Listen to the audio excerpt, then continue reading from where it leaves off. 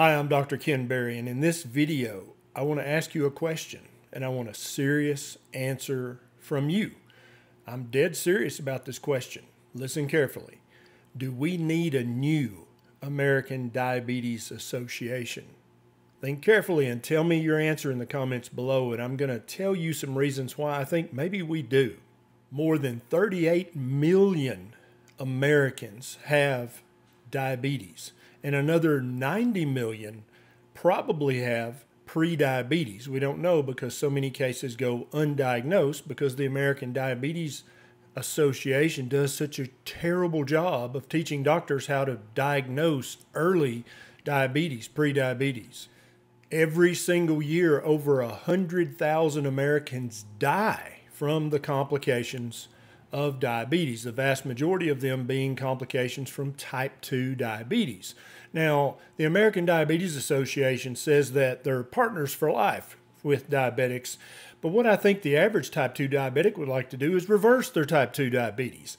And indeed, unlike other chronic diseases like Alzheimer's, kidney disease, Crohn disease, type 2 diabetes is completely reversible. And there's tons of research that shows this uh, without doubt that you can reverse it by making a few simple dietary changes. And yet, the American Diabetes Association is silent on this. Now, when you press the American Diabetes Association on this, they'll say, yes, you can technically reverse type 2 diabetes with a low carb diet, a ketogenic diet, a ketovore diet, or a carnivore diet. But somehow they still remain publicly very quiet about this, even though I've been reaching out to them for more than a year on Twitter.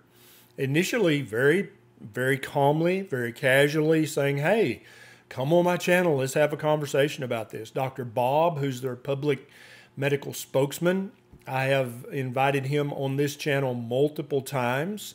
Uh, the only thing I hear is crickets chirping. I never get a response from him. Uh, I have a friend who is a professor at Harvard Medical School. He went to school with Dr. Bob. He reached out to him in a private email. Nothing. Crickets chirping still. Uh, now, did you know that back in 2020, then American Diabetes Association President Tracey Brown actually uh, revealed in a podcast that she had used a very low carb diet, aka a ketogenic diet, to put her type 2 diabetes in remission. And it was only a few months later that she was no longer with the American Diabetes Association. Now, don't get me wrong, I have no.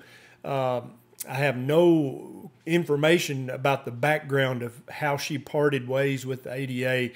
I have no details about that. All I know is, is when she talked about a very low carb diet putting her type 2 diabetes in remission, she was no longer with the ADA. Here's a quote from Tracey Brown that may have got her in a little bit of hot water with the big pharma and the big food donators who give millions of dollars a year to the American Diabetes Association. Elevated blood sugars happen when you have sugars in your sugars in your body and you don't have insulin to manage the sugars in your body. Carbohydrates turn into sugars. So I just try to keep people get people to be aware of how many carbohydrates you are actually putting in your body. Uh, that that's great advice, but uh, very soon after she said this publicly, she was no longer with the American Diabetes Association. Now, many health expert gurus on the social media sites will claim that the ketogenic diet is a fad diet, it's dangerous, it's weird. Uh, they don't seem to know their medical history. The ketogenic diet, low carb diets, carnivore diets have been around for hundreds of years and documented in the medical literature, in medical textbooks, in books written by doctors for over 100 years. This is not new information uh, you and I have rediscovered a proper human diet by doing our own research, but this has been rediscovered multiple times over the centuries.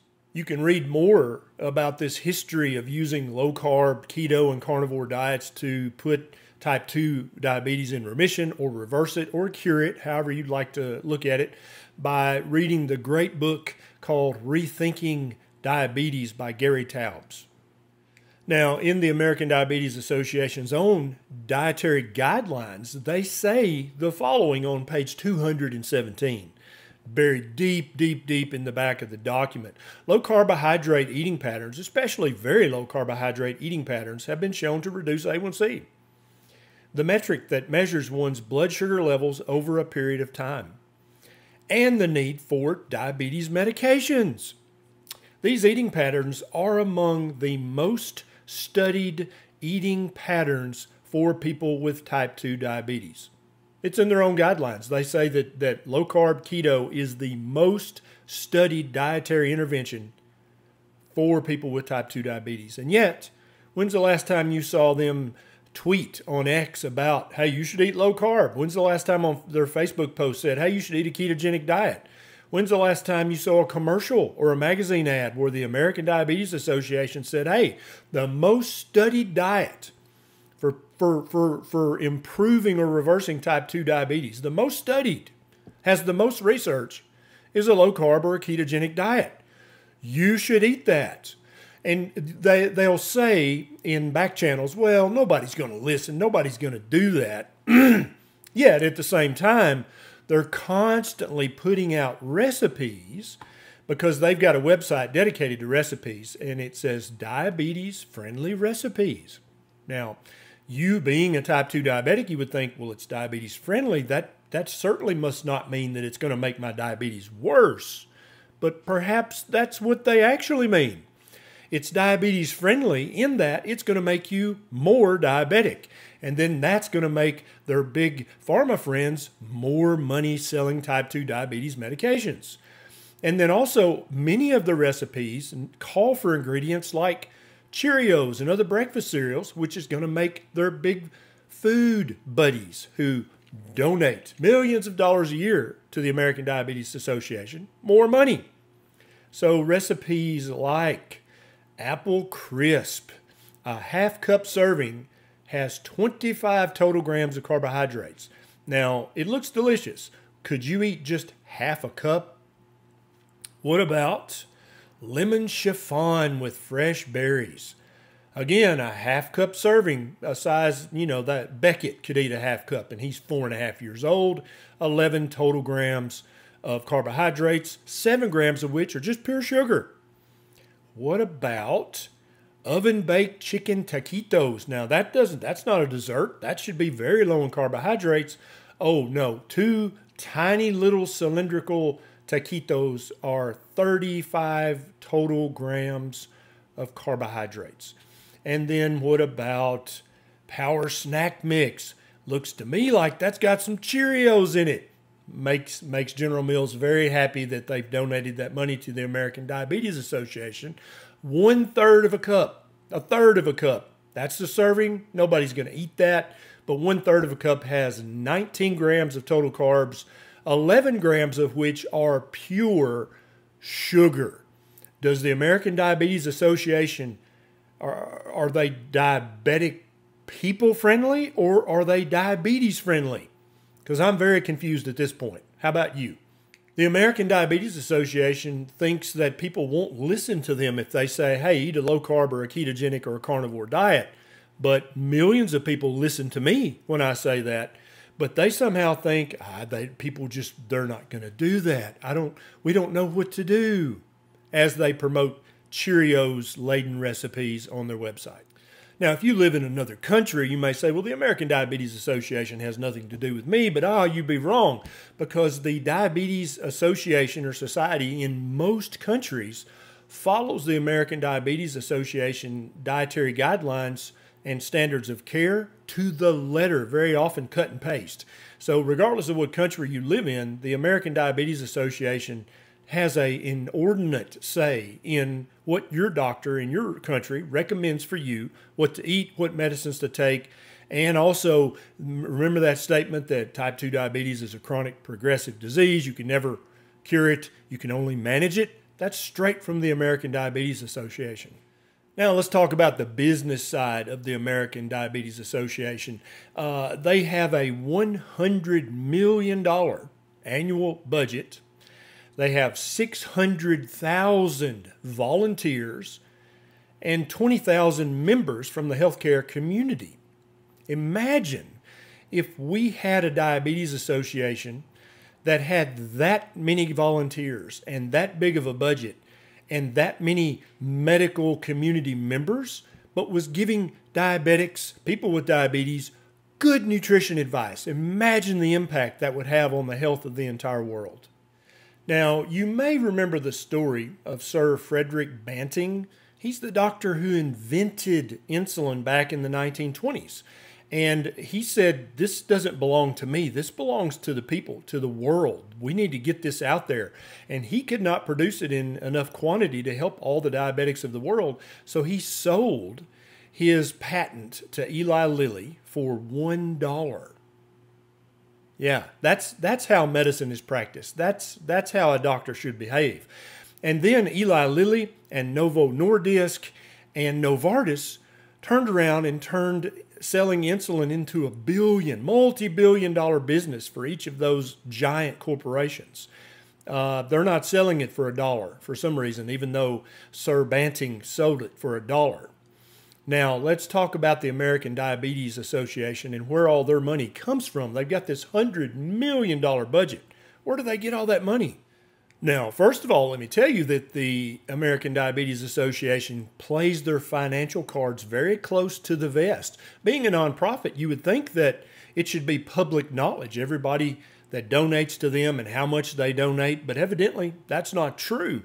Um, financial filings show that between 2017 and 2024, more than 50 big pharma and big medical manufacturing companies donated over $134 million to the American Diabetes Association. Now, with, just with that knowledge alone and, and just some basic knowledge of human nature, you can see that if they came out and said, hey, you should eat a low carb or a ketogenic diet. You'll completely reverse your type 2 diabetes. All these millions of dollars from Eli Lilly and Novartis uh, and Novo Nordisk, they would dry up. That money would disappear. Now, surely to goodness, the American Diabetes Association is more committed to helping people with type 2 diabetes reverse their diabetes than they are with getting millions of dollars in donations They've got million dollar deals with CVS Pharmacy. They've got a million dollar deal with DaVita. That's the dialysis company that I just did the interview with Dr. Mueller about the other day. You should really watch that video if you want to have your stomach turned by the uh, behavior of DaVita and Fresenius. And if you've ever been to the American Diabetes website, you you know that what I'm about to say is true every five seconds a pop-up window appears saying, "Hey, donate now. We'll we'll match your contribution." It's literally donate, donate, donate, donate. It seems that all they care about is raising money, but then not giving people with diabetes good diabetic advice. So if you just went by the common sense approach of saying, well, okay, who who's really benefiting from the advice that the American Diabetes Association is currently putting out? Well, uh, big pharma and big medical equipment manufacturers, they're making billions each and every year based on the advice that the American Diabetes Association gives to people with diabetes. Uh, big food, because of all the recipes that, that call for Cheerios and Splenda and all the other big food products, they're making billions of dollars a year. Well, what about people with diabetes? Well, they're suffering amputations. They're suffering blindness, severe neuropathy, kidney failure, having to give themselves multiple shots of insulin to match the carbs that they ate in the American Diabetes Association recipe that's on the ADA website that says it's diabetes friendly. I don't know. You tell me who benefits from the ADA's recommendations. So, to sum up, let me be honest with you. I've tried for over a year to reach out to the American Diabetes Association through private emails, through Twitter posts, and through Facebook posts saying, hey, come on my channel. Let's have a conversation. Dr. Bob, come on my channel. Let's have a conversation. Well, guess what? I've had it. I'm done. I really think that we should form a new diabetes association that doesn't work for Big Pharma that doesn't work for big food, that doesn't work for the big medical equipment manufacturers or big pharmacy, that works for people with diabetes, that says, hey, you've got type 1 diabetes or LADA. You deserve to have a normal A1C. You deserve to have a long, healthy life during which you don't have to have toes chopped off. You don't have to have dialysis. You don't have to go blind. You don't have to have a heart attack or a stroke prematurely a, a diabetes association who says to everyone with type 2 diabetes, hey, basically what you've got is carbohydrate overdose syndrome. If you cut the carbohydrates in your diet low enough for long enough, you'll completely reverse your type 2 diabetes and you won't need all of these expensive medications from our big pharma buddies. Are you with me on this? Do you really do you feel like cuz I mean, you know me. I ain't scared if you if enough of you guys say hell yes we need a new diabetes association i'll start a kickstarter and we'll start raising money and we'll form a 501c3 and we'll we'll do this. We'll start a new diabetes association and we'll leave the ada in the shitty dust where they belong. Let me know in the comments what you think about this